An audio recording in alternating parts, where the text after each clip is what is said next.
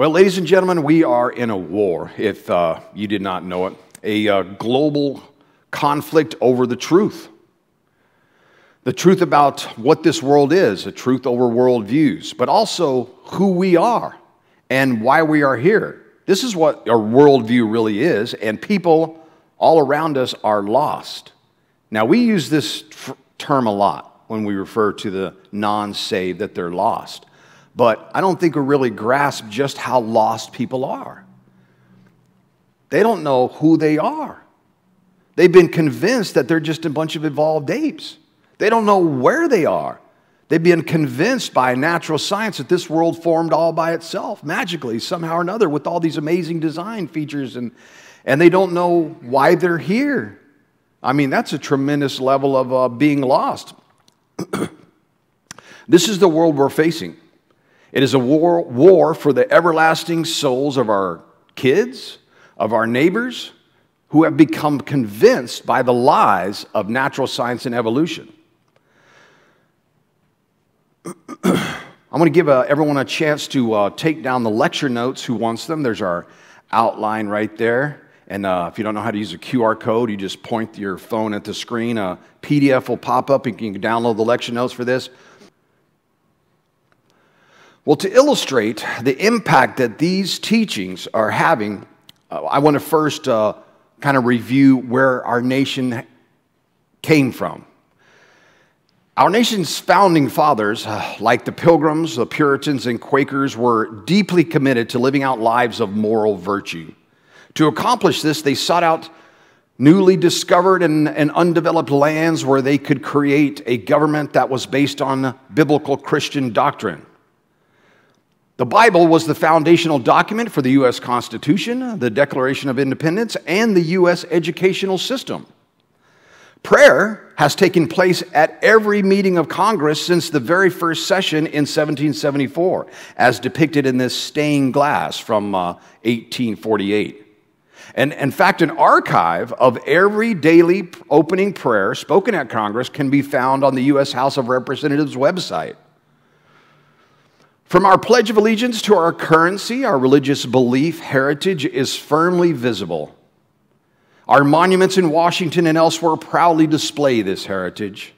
A quote from Thomas Jefferson on the Jefferson Memorial reads God, who gave us life, gave us liberty. Can the liberties of a nation be secure when we have removed a conviction that these liberties are the gift of God? On the east entrance of the Supreme Court building, there is a, a, sculpture that represents great lawgivers. Most notable, front and center, is Moses holding a copy of the Ten Commandments. The Washington Monument was capped with an aluminum capstone, shown here, that contains an engraving of the Latin phrase Laus Deo, which means praise be to God. 95% of the founding fathers of the U.S., though that is those who signed the Declaration of Independence, the U.S. Constitution, and the Articles of Confederation, were devoutly Christian. 100% of them had known Christian affiliations. 27 of the 56 signers of the Declaration of Independence had Christian seminary degrees. Now, this is an oft quoted statistic, but one that can be a little misleading because at this point in history, the vast majority of your colleges were what we today we would call seminaries. They were founded by Christians and they were largely Bible based colleges. Well, in fact, 106 of the first 108 schools in America were founded by Christians, including several of the big Ivy League schools like Harvard, Princeton, and Yale University. Ten of the first 12 presidents of Harvard were ministers. uh, Princeton was founded by the Presbyterian Church. Up until 1902, every president of Princeton was a minister.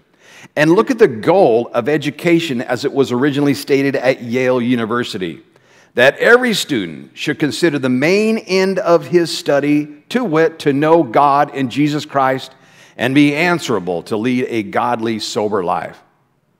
How long has it been since that was the goal of education in this country? Well, did you know that the U.S. once celebrated days of humiliation, fasting, and prayer? Congress issued this proclamation prior to the election of the first president during the Revolutionary War. This proclamation by Congress was set on uh, May 17, 1776, and urges its fellow citizens to, quote, confess and bewail our manifold sins and transgressions, and by sincere repentance and amendment of life, appease his, that is God's, righteous displeasure, and through the merits and mediation of Jesus Christ, obtain his pardon and forgiveness. Presidents also issued days of humiliation, fasting, and prayer.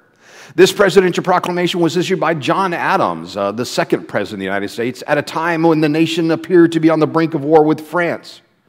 Adams urged the citizens to, quote, acknowledge before God the manifold sins and transgressions with which we are justly chargeable as individuals and as a nation, beseeching him at the same time of his infinite grace through the Redeemer of the world freely to remit all our offenses and to incline us by his Holy Spirit to that sincere repentance and reformation which may afford us reason to hope for his inestimable favor and heavenly benediction. The first national Thanksgiving proclamation was issued by the Continental Congress in November 1777, prior to the election of the first U.S. President, George Washington. Following the colonial victories in the battles of Saratoga, it should be noted that a, a lot of historical revisionism has taken place in recent years, attempting to redefine what Thanksgiving celebrations were originally. When I was in school, we were even we were taught that Thanksgiving was all about thanking the Native Americans. But all you have to do is read these original Thanksgiving Day proclamations to, to make it clear that they were about one thing, and that was thanking God. Did they invite the Native Americans to join them in these celebrations? Absolutely. But the celebration was still about thanking God. George Washington issued the first Thanksgiving Day celebration under the new Constitution on November 26, 1789, recognizing November 26 as, quote, a day of public thanksgiving and prayer. John Adams and James Madison also issued proclamations under uh, uh, proclamations calling on America to observe certain days with fasting, prayer, and thanksgiving. Perhaps one of the most beautiful is, is, the, is a proclamation that was written by Abraham Lincoln on October 3rd, 1863, in the midst of the Civil War. President Lincoln proclaimed a national Thanksgiving Day to be celebrated on the last Thursday in November 1863. Since then, Thanksgiving has been observed annually in the United States on this day. Listen to Lincoln's. The year that is drawing towards its close has been filled with the blessings of fruitful fields and healthful skies. To these bounties, which are so constantly enjoyed that we are prone to forget the source from which they come. Others have been added, which are so extraordinary in nature that they cannot fail to penetrate and soften even the heart which is habitually insensible to the ever watchful providence of Almighty God. No human counsel has devised, nor hath any mortal hand worked out these great things. They are the gracious gifts of the Most High God, who, while dealing with us in anger for our sins, hath nevertheless remembered mercy. It has seemed to me fit and proper that they should be solemnly, reverently, and gratefully acknowledged as with one heart and voice by the whole American people.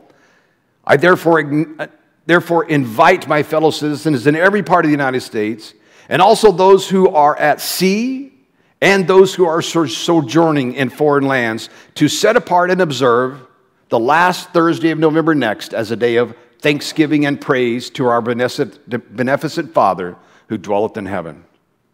Just beautiful proclamation, beautiful, beautiful proclamation. However, this tremendous Christian heritage of our nation is being attacked and erased from our public facilities, textbooks, and museums. Numerous suits have been filed by atheist groups like the American Atheist Incorporation or the Freedom from Religious Foundation to have Ten Commandment monuments removed from our public facilities. Another apt example can be can uh, be found by visiting Washington, D.C., where you may observe instances of our Christian heritage being removed or hidden from visitors. For example, at the Washington Monument, you can find a display about its capstone. This 2000 uh, photograph from the year 2000 of the display shows the capstone position so that viewers could see the inscription, Laus Deo, praise be to God, which is translated in the, uh, in, in, the description is tra- in the description in the reader card below the replica. However, this in, in this 2007 photograph, you see that the cap was later repositioned so that no one could see the inscription. When criticisms arose, the National Park Service claimed the repositioning was inadvertent. However, the reader board was also altered during the renovation with a very specific deletion. The deletion was the removal of that last sentence, which read, quote, the casting was inscribed with the phrase Laus Deo, praise be to God. Well, we're seeing troubling trends of moral decline in our once great Christian nation that appear to parallel a decline in Christian beliefs. As a predictor of where our nation is heading, let's look at the current state of the church in the United Kingdom. In the United Kingdom, uh, church congregations are getting much smaller, with many nearing the point where they will cease to be financially viable. The number of church closures is so great that the Church of England has set up a church, a closed church division to assist with the disposition of properties closed for regular public worship. Normally, a suitable alternative function of the property is sought, but if none is found, outcomes are either preservation or demolition. Today, Regular church goers, uh, uh, regular church attendance has declined between 1998 and 2005 by something like 15 to 22 percent. Regular churchgoers in all denominations comprise today only about 6.3 percent of the population. Today, there's only one church for every 1,340 people with an average congregation of only 84. Plus, only 2.5% of the population attend what we would call Bible based churches. This church has been converted into a Sikh temple. This one has been, uh, is now a, the Musselburgh Museum of Dolls and Art exhibits. This church has become a rock climbing center because of the high spires and uh, tall walls inside. And this was actually on their closed church division website. This was one of the alternative uses that was mentioned for churches seeking, seeking alternatives. Well, the decline in church attendance is almost certainly linked to the pervasive teachings of a non Christian worldview, in my humble opinion. The teachings of, of worldview is most predominant in history courses, which now dominate science curriculum. See, we're no, no longer just teaching science in our science courses. We're no longer just teaching physics or chemistry or about biological systems. Science has got itself involved in teaching history. That's why we have our natural history museums. They're not science museums, they're teaching us a speculative history of the world as though it's an absolute fact.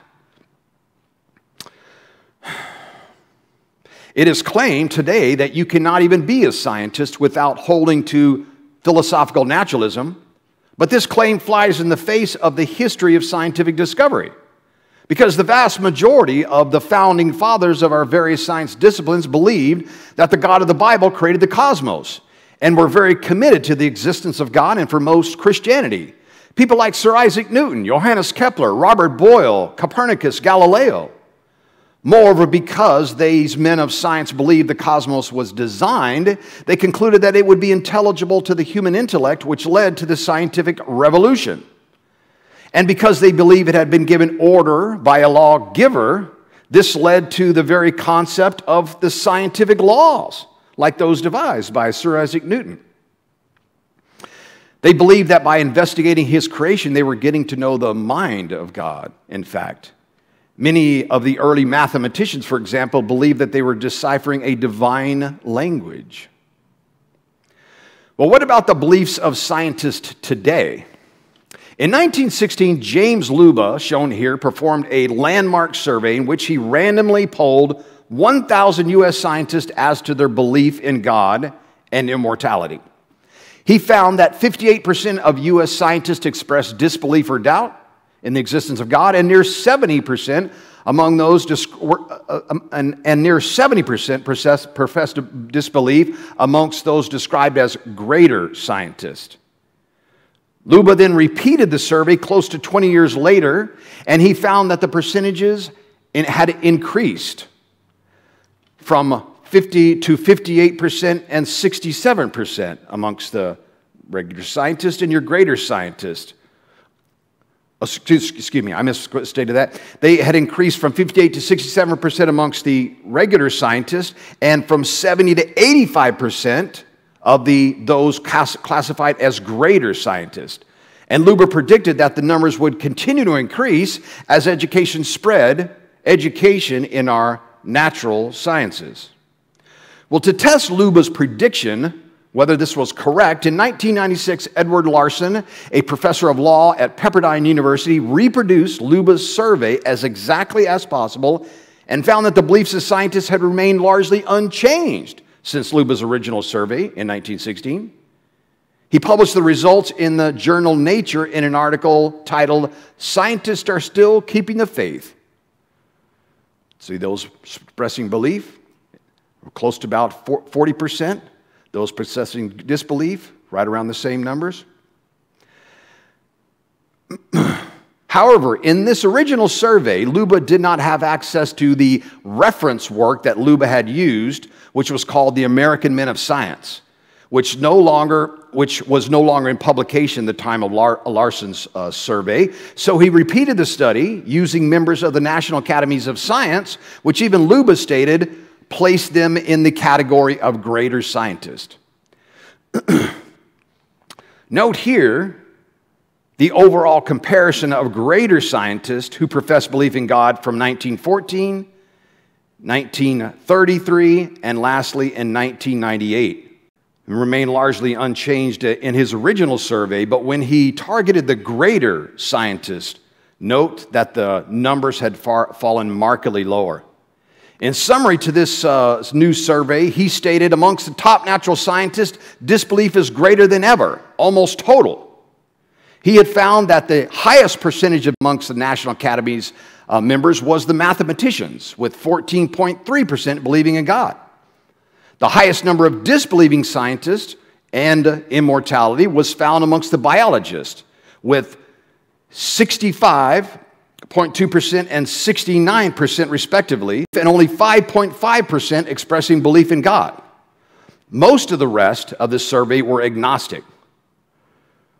Well, the reason why these beliefs are troubling, the beliefs of the national academies, is due to the function of this government agency, which is to, quote, investigate, examine, experiment, and report on any subject of art and science whenever, to, whenever called upon to do so by the Department of Government, such as the Department of Education, and, quote, to advise on the scientific and technological issues that pervade policy decision, such as how science should be taught in our public schools. It is the this is the function of the National Academies of Science. So in 1998, the National Academies published a booklet to encourage the teaching of evolution titled Teaching About Evolution and the Nature of Science. Edward Larson, who we uh, just met, wrote a review of this NAS publication that was titled Teaching About Evolution and the Nature of Science for the journal ISIS, an, an educational journal that he titled Evangelists of Science. He, re- he reads this. Perhaps an even more pers- per- pervasive theme in this booklet is how the NAS sees the nature of doing science. Quote, science dif- differs from religion because it is the nature of science to test and retest explanations against the natural world. Science relies solely on naturalistic explanation and thus excludes so called creation science and intelligent design concepts. Popperian falsification is affirmed as the norm for science and as satisfied for the theory of evolution. Indeed, the booklet stresses scientists use the word theory so rigorously that when applied to the occurrence of evolution, it means fact. Throughout this booklet, science is presented as the cumulative enterprise leading progressively to a better understanding of nature and its uses, an enterprise that students can one day participate in only if their teachers show them the way. These teachers should be evangelists for science. This booklet offers encouragement and tools for that missionary purpose. Believe me, These evolution, evolutionists see, these teachers that teach evolution see it as an evangelistic subject. The NAS pu- published another booklet in 1999 that specifically attacked biblical creation titled Science and Creationism A View from the NAS, in which they state this is the publisher's description the National Academies of Science states unequivocally that creationism has no place in any science curriculum at any level. Well, bolstered by such prestigious criticisms as the National Academies of Science, those upholding biblical creation have been the source of jokes and mockery. In this episode of the TV series The Family Guy, a doctor places creationist in the lowest position on his comparative IQ scale. And we're also beginning to see our religious liberties attacked. Well, bolstered again by such criticisms uh, from prestigious groups, people of faith in academia and science industry positions are being subjected to much discrimination and harassment. Let me show you a few examples. Roger DeHart, shown here, was a high school biology teacher at, in the Burlington Edison School District here in Washington State for 14 years, taught biology for almost 30.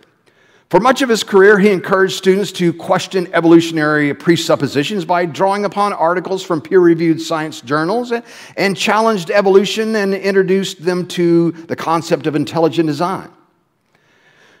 that all came to an end in June 1997 when a parent of one of DeHart's students sent a complaint to the American Civil Liberties Union. The ACLU quickly threatened to sue the Burlington Edison School District if DeHart didn't stop teaching intelligent design, in response to the threats of impending lawsuit, the district took the district removed him from his biology classes. Nancy Bryson, shown here, was the head of the Department of Science and Mathematics at the Mississippi University for Women until she gave a seminar to a university honors forum titled Critical Thinking on Evolution. She presented alternative views of uh, origins, including intelligent design, and the talk was reportedly well received by the students. However, immediately after her talk, a senior professor of biology stood and read a four to five minute pre prepared diatribe against Bryson and her talk. He said she was unqualified to speak on the subject of evolution and said the presentation was, quote, religion masking as science. She was the head of the science department. Who's qualified to talk about evolution if not the head of the science department? Well, the following morning, several, or so she was told, professors of math and science complained to the vice president of academic affairs about the talk. That afternoon, the vice president of academic affairs came to her office and asked her to resign effective at the end of the fiscal year without offering explanation. When Bryson refused to voluntarily res- resign, she subsequently received a written notice that her contract would not be renewed that following Monday. As the editor of the Proceedings of the Biological Society of Washington, a journal, uh, Richard Sternberg published an article that mentioned intelligent design as a possible cause of the irreducible and specified complexity found in cells. Following this publication, he faced retaliation, defamation, harassment, and a hostile work environment at the Smithsonian National Museum of Natural History, where he worked. In response, Dr. Sternberg filed a complaint with the U.S. Office of Special Counsel, the agency charged with, quote, protecting federal agent employees. After an investigation, the, uh, the Office of Special Counsel report stated that there was evidence to corroborate Dr. Sternberg's complaint, concluding that, quote, it is clear that a hostile work environment was created with the ultimate goal of forcing Sternberg out of the Smithsonian. Dr. Guillermo Gonzalez, shown here, was a professor of astrophysics at Iowa State University until he published the book, The Privileged Planet. Now, the book does not espouse creation, I've read it myself, but it merely details the fine tuning of the universe that is necessary for the existence of life. However, upon its publication, a professor of religion, professor of religious studies at Iowa State, initiated a campaign against Gonzalez for advocating intelligent design. which was aimed at denying Gonzalez tenure. The religion, the religion professor who led the campaign was also an outspoken atheist and the faculty advisor to the campus Atheist and Agnostic, Atheist and Agnostic Club. Because that, that's what you have to be to teach religion in our major universities today. You have to be an atheist, right? Well, although Gonzalez had 60 peer reviewed scientific papers at the time, exceeding Iowa State University's standards for excellence for tenure by more than 350%, he was denied tenure and lost his professorship. He had exceeded the, the required publications by 350%. They only wanted like 16 to 17 publications, and he had published 60 peer reviewed articles by this point in time. It was clearly just about his views on intelligent design. Well, a documentary was eventually produced based on the privileged uh, planet, which got this guy in trouble. this is David Coppedge, who was the team lead on the Cassini mission to Saturn for NASA's Jet Propulsion Laboratory. After lending some of his coworkers the DVD, The Privileged Planet, he was reprimanded and demoted.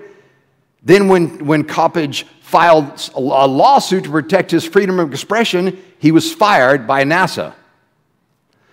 Raymond Damadian, shown here, was overlooked for a Nobel Prize for his work on developing the nuclear magnetic resonance technology that was the basis for the MRI.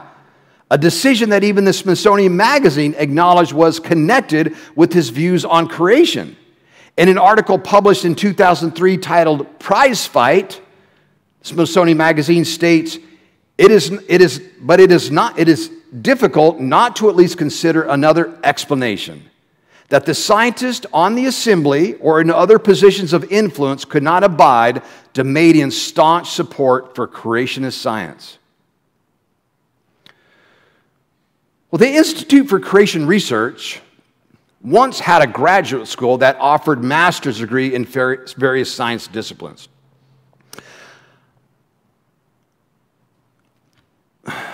And I, in fact, was the last person to apply for admissions into the ICR graduate school. I thought uh, getting a master's degree in geology from the Institute for Creation Research would, be a, uh, would add nicely to uh, my education and help me with my apologetics. Well, ICR decided to uh, move their school from uh, California, where it was, to Texas. And uh, when they moved to Texas, the Texas Department of Education refused to allow them to offer degrees in science not because of the rigor, but because of the worldview. They were teaching science from the creation point of view. They were disallowed to offer master's degrees in science, not because the program wasn't rigorous, but because of the view that was being espoused. They weren't teaching evolution. But they, uh, just some of the backstory on this, ICR had gone through a, a previous fight in California that similarly, the, the California Department of Education had challenged their ability to offer degrees as well when they first set, set up the school there. And they challenged the decision up to the federal level and won. So perhaps they assumed that by moving to Texas, to the Bible Belt, and having a, a legal precedent already behind them, that being able to uh, offer the same degree programs at Texas wouldn't be a problem, but they faced a similar challenge. They ended up uh, re. Uh, reorganizing the school uh, uh, into a school of biblical apologetics, and you can uh, get master's degree in master's degrees in Christian education and apologetics. And uh, I still intend to uh, to pursue that. I uh, wrote an article on it at some point. That's the QR code for that. That was published in a Creation magazine about the fight that that ICR went through to try to offer these degrees. But in fact, yeah, I was the last person to, to apply for a degree to the ICR's graduate school. No sooner was I approved than I got a letter let, to, telling me that the school was closing down. This is very sad. Well, to bring a, an, an, ex, an example of faith based discrimination closer to home, um, I want to point out to the content of a handout that. Uh, that I received about a financial aid program for teachers while attending an orientation meeting when uh, entering a Master's of Education program at, at UW. Now, the same information on this can, can be found on the uh, Higher Education Coordinate, Coordinating Board website, which is where I copy and paste this from. Uh, Now, this is a financial aid program that is specifically for teachers, and uh, there were certain qualifications for this, to, to, for this financial aid program. Here, here's the qualifying criteria for this. You must be a resident student of Washington State, yes. You must plan to complete an approved uh, program leading to residency teacher certificate or an additional uh, endorsement.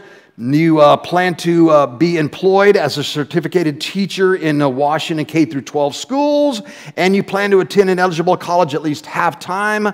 Um, and all that sounds good until you get to this one. You must not be pursuing or planning to pursue a degree in theology. You cannot you get this financial aid uh, if you to be a teacher if you're planning on if you're pursuing or even planning on pursuing a degree in theology would seem but i since learned and this was a financial aid program specifically for teachers and so i thought well maybe that was just a teacher uh, program. But I since learned that this discrimination does not apply just to teachers. Washington students pursuing a degree in theology are ineligible for any forms of financial aid student loans, grants, or even work study programs. You're ineligible for all forms of financial aid if pursuing a degree in theology. Now, what in the world? Ladies and gentlemen, our school systems has been taken over by people holding to a secular ideology, and they're teaching our children a non Christian worldview. So let's look at the beliefs of young people to see how they are being impacted by this war of worldviews. Gallup poll figures show that the national average of people that believe in God is still very high 92%. Now, this was a recent Gallup poll. But interestingly, in 1947, the national average was 94%. Since they've been doing this study, since 1947, when they first did this study, the, the number of people that express belief in God have, have remained pretty consistent, which is it's a remarkably stable statistic to say the least, especially considering the moral declination that we've seen over the last few decades. But when you look at how the question is phrased, it makes a little more sense. Uh, do you believe in God? And so it was a combined total. Do you believe in God? And do you believe in God or a universal spirit? You know what I mean? So, yeah. A lot of people are going to be lumped in that universal spirit category. But 92%, that's still pretty high of those that believe in God or universal spirit. However, those, the survey also shows a dramatic decline in belief of our young people. Notice that the, those that are in the 18 to 29 category are almost a full 10 percentage points lower, so full 10% lower. The next, the other demographic that stands out as lower than the national average are those with graduate with graduate degrees, those that are in higher education. A Barna survey revealed similar concerns. They found that 61% of today's young adults who were regular church attendees are spiritually disengaged by their 20s. 20% of those who were spiritually active during high school maintained a similar level of commitment in their 20s, they found. And they also found that only 6% of people in their 20s and 30s can be considered evangelical. Arguably, what's happening here is that our kids are being indoctrinated into an atheistic worldview by the false teachings of natural history and or evolution. I mean, you have, you have such, such a wide variety of, of life. And I don't think it's possible for one person. I mean, no matter how powerful he might be, to just snap his fingers and create life. It has to come out naturally over millions of years, probably. Half of me believes in the theory of evolution, probably because that's what I was taught. Four years of studies, unfortunately, um, have kind of brainwashed me towards evolution. I believe humans evolved to where we are today from single celled organisms based on the, the theory of Darwinism and natural selection. I don't think that there was any sort of divine intervention. I believe evolution is um, pretty much proven theory. I don't believe in a higher order.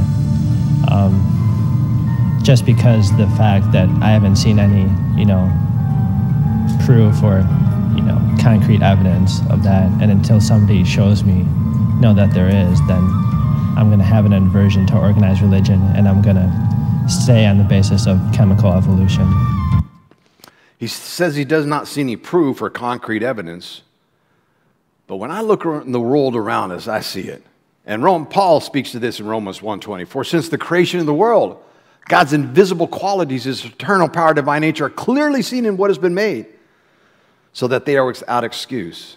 But even though they, he continues, but even though they knew God, they did not honor him as God or give thanks, but they became futile in their speculations and their foolish hearts were darkened. Professing to be wise, they became fools. And that is the nature of natural science today. There is abundant evidence of design out there, but they refuse to acknowledge the witness of their own eyes.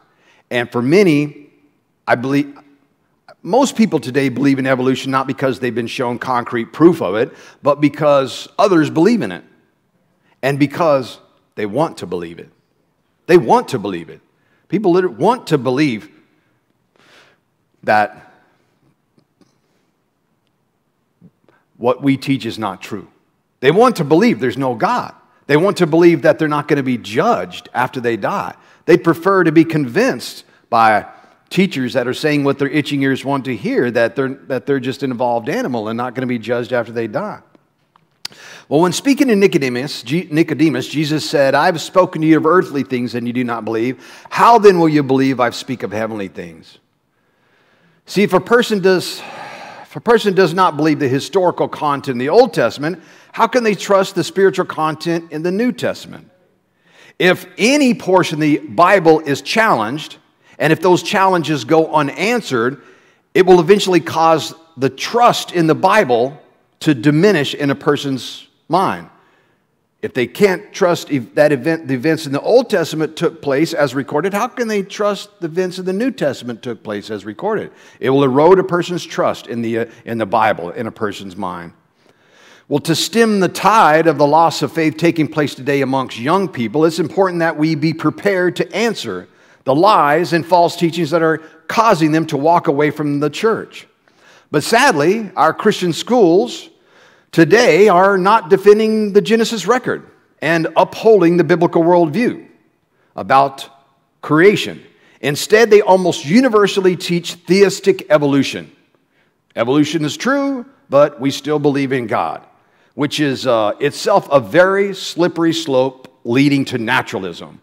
Once a person thinks, well, my, my Christian school says evolution happens, so, you know, must be true, and there you go faith is diminished. So let's look at this. In 2011, the uh, results of a survey was published by the American Research Group of the views of faculty members on biblical creation at our Christian colleges and universities. 312 faculty members were surveyed at 200 Christian colleges and universities in the country. They surveyed the head, the faculty members of the religion department, faculty members of the science department, the president and vice president, but the faculty members of the Religion and Science Department, uh, some of the questions they asked them were very telling. Let's look at a couple of these. Faculty members of the Religion and Science Department were asked this question Do you believe the Bible is literally true? Or, I, I probably referring mostly to like a literal creation event true. Although the numbers are close, you see there, it's troubling that a higher percentage in our religion department disbelieves that the Bible is literally true. 22% say no versus 14% in the science department. When asked about a literal creation, the differences between the religion and science department were significant, but again, not in the direction that most people would think. It turns out that, that the number of faculty members in the science department who believe in a literal 24 hour days of creation is much higher 71% as opposed to 56% in the science department. When asked, Do you believe the flood was a worldwide, local, or non literal event. Only 57% of the religion department believed the flood was a global event. 30% said it was local, and quite disturbingly, 12.3% said it was a non event. Don't believe that the flood was a real event at all. See, theistic evolutionists are willing to mythologize, delete, or completely disregard the historical events of Genesis first 10 chapters of the, of the book of Genesis to bring the Bible into agreement with natural history. Personally, I think these Christian school teachers who are teaching an atheistic based natural history of the world are going to find themselves in trouble. James, the brother of Jesus, warns teachers that they will be under stricter judgment. He said, Let not many of you become teachers, my brethren, knowing that as such we will incur a stricter judgment. Better be teaching what you know to be true. Personally, I cannot, I cannot ethically teach at a public school. Couldn't do it. I just wouldn't be willing to go into a biology class and teach a bunch of these uh, kids things that I knew were, were, were not true, false teachings and lies that would potentially impact their ability to believe, come to a saving knowledge of Christ. I, wouldn't, I just couldn't do it. Couldn't go into a public school and, uh, and, uh, and teach evolution. I, I just couldn't do it. Wouldn't ethically be willing to do it. Well, I want to point to another couple of surveys uh, to help better understand what is happening. In April 2009, Newsweek declared on the cover of its magazine, The Decline and Fall of Christian America. Who would have ever thought this would happen? Do we understand the times? The feature article in this issue was entitled The End of Christian America, and it summarized the results of a 2009 Newsweek survey in which the author states that the percentage of self identified Christians has fallen 10 percentage points since 1990, from 86 to 76%. The number of people willing to describe themselves as atheist, atheist or agnostic has increased about fourfold from 1990 to 2009, from 1 million to 3.6 million. However, 3.6 million is still roughly only about 1% of the population uh, which is like 335 million. Yet they have a great influence over the culture because they become aggressively involved in politics and education. And the church has kind of backed out of those roles. They continue. The present, in this sense, is less about the death of God and more about the birth of many gods. But is this true? Former President Barack Obama said the same thing in his autobiography titled The Audacity of Hope, published in 2008, he said, Whatever we once were, we're no longer just a Christian nation. We are also a Jewish nation, a Muslim nation, a Buddhist nation, a Hindu nation, and a nation of non believers. Essentially, he's saying we are a nation of many gods. However, it's simply not true to say that we're becoming a nation of many gods. What is really happening is a shift towards no religion. Although the majority of people in the country are Christians, a total of about 68%, according to a 2020 Gallup poll survey, we are seeing that the number of people that declare themselves to have no religion has risen from 1% in 1950 to 20% in 2020. During the same time period, the number who identified themselves identified as other religions increased only 3% from 3 to 6. So, what we're seeing is a move towards no religion. The number of people who stated that religion is very important in their life declined by 10% also between 1992 and 2020, from 58 down to 48%. When we consider the growth of those claiming to be non religious, it is clear that teachers are saying what people's itching ears want to hear. Paul wrote to Timothy, For the time will come when men will not put up with sound doctrine. Instead, to suit their own desires, they will gather around them a great number of teachers to say what their itching ears want to hear. They will turn their ears away from the truth and turn aside to myths. It's clear that teachers are saying what itching ears want to hear.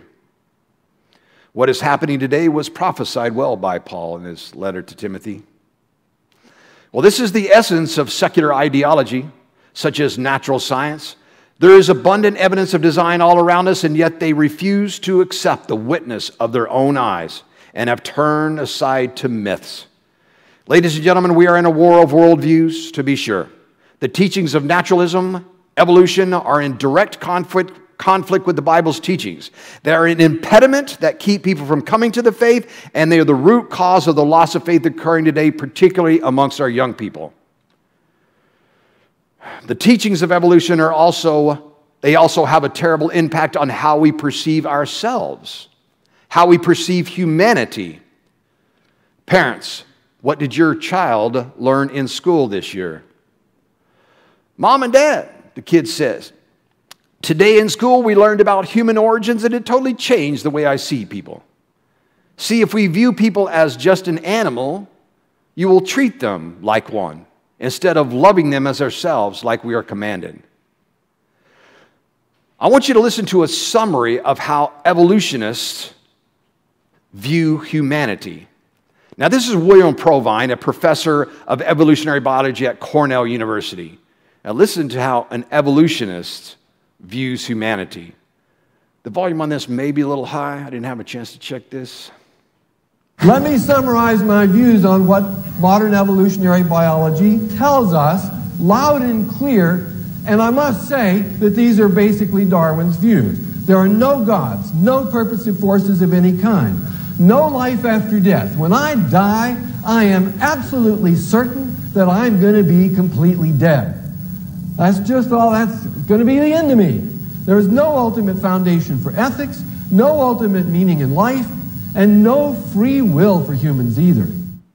See, atheists like Provine often deny the existence of human free will and instead argue that our behavior is merely, merely a consequence of biochemical reactions and uh, animal instincts and thus free of judgment.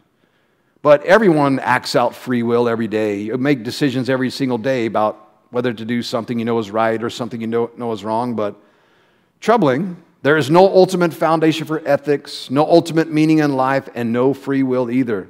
That's how evolutionists view humanity. This is a war of worldviews between atheism and theism for the souls of humanity. Understand atheism, when applied to the physical world, led us to what we call naturalism, philosophical naturalism. The view that everything came about through purely natural processes that all physical phenomena must be explained as occurring through purely natural processes, and it's the adherence of all scientific inquiry to philosophical naturalism. When uh, naturalism was applied to the biological world, this is what led to evolution. And when evolution was applied to humanity, this is what led to humanism. Humanism. Humanism. Humanism is not just a worldview, understand, but the world's oldest religion. A religion that worships man, or in its moderate forms, holds that man is independent of a creator God. It began when Adam and Eve ate the fruit of the forbidden tree to receive the knowledge of good and evil. Following this simple act, humankind began to view itself as autonomous, self directed, and godlike. A person upholds humanism whenever they place their own views or opinions above the Word of God. The Greek philosopher Protagoras summed up the stance of humanism with the maxim man is the measure of all things.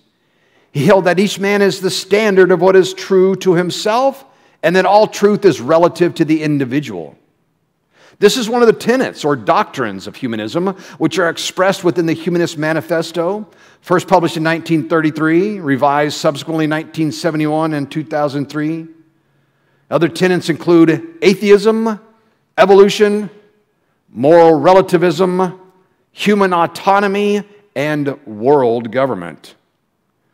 Although atheists or secular humanists represent a very small portion of the population, Again, they've exerted a, a great influence over the culture through political involvement and the media. From the, the What We Do page of the American Humanist Association website, they say, Located in Washington, D.C., the American Humanist Association advocates for progressive values and equality for humanists, atheists, freethinkers, and non religious. With our extensive local and national media contacts, our lobbying and coalition efforts on Capitol Hill, and the efforts of our grassroots, activity, activists, we ensure that the humanist point of view is represented. The idea that you can be good without a belief in God.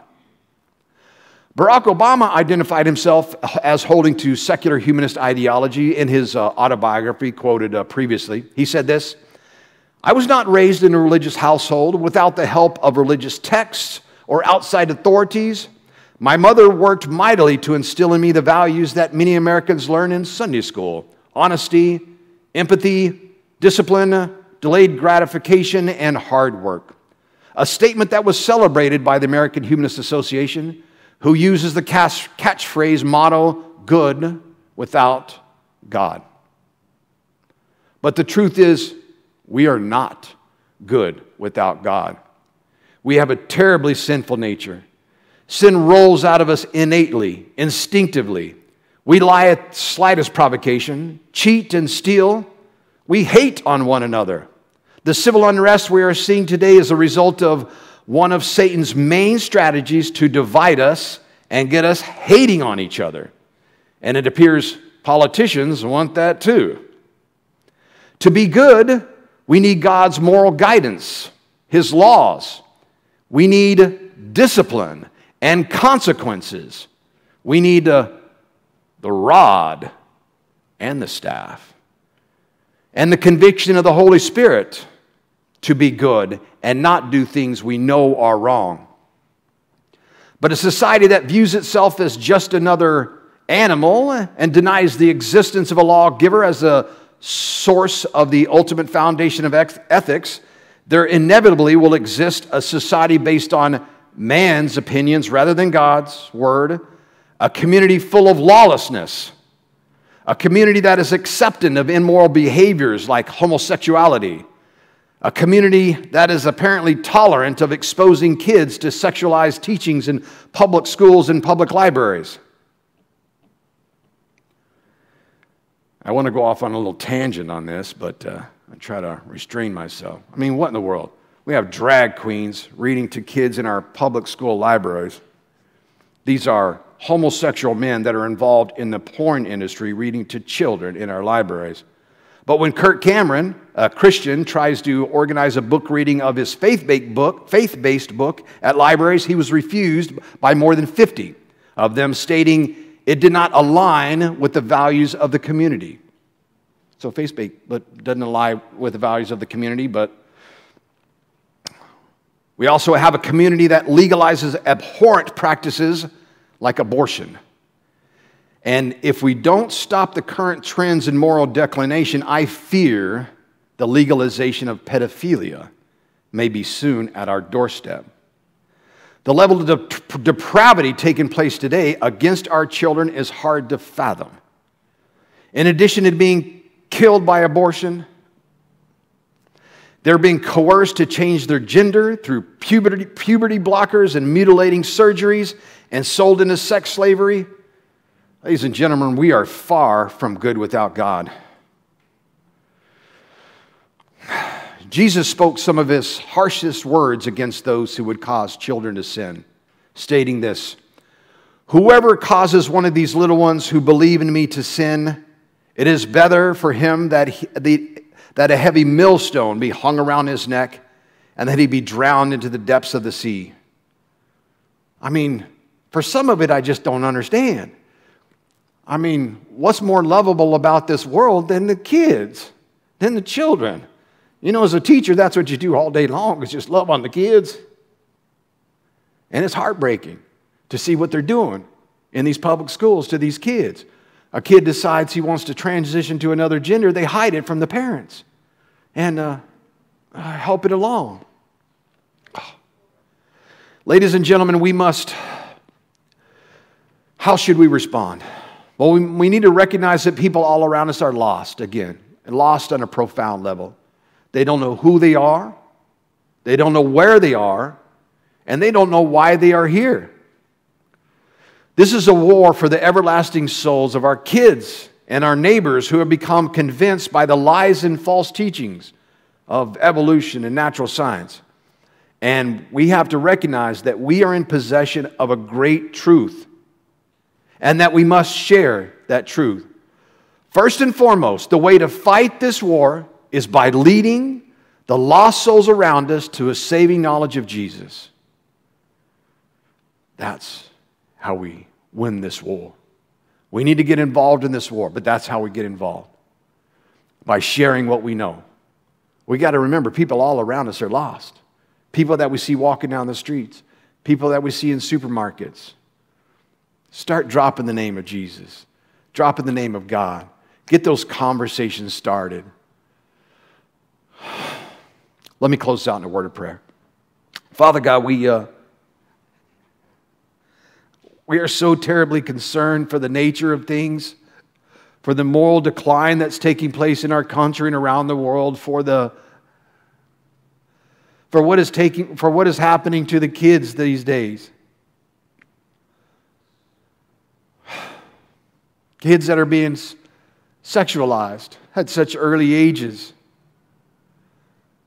told they can change their gender. Father, we, we pray for the protection of the kids. Pray for the protection of these children that are trapped these days in public schools. And, and Father God, we pray for their parents, a conviction for their parents to get them out of those schools. Homeschool them if they have to. Get them in a Christian school if they can. Father, we pray for these kids. And, Father God, we ask you to help us, Lord, to, to know how to respond.